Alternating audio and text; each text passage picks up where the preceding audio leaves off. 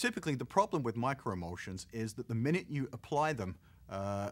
to a situation, they are starting to lose their effectiveness as they are diluted from the minute they enter the wash or the dishwashing process. Um, the, the brilliance of this idea was that rather than have them start to lose their effectiveness from time equals zero, we added what was effectively a proto-microemulsion, the precursor to a microemulsion. That meant that the microemulsion actually formed during the wash process, and in so doing, we maximized the amount of time that it was active during the dishwashing process. This meant that instead of maybe having a couple of minutes of active uh, microemulsion present in our system, we extended that to many, many minutes, allowing it to remove a lot more soil than it would normally have been able to do.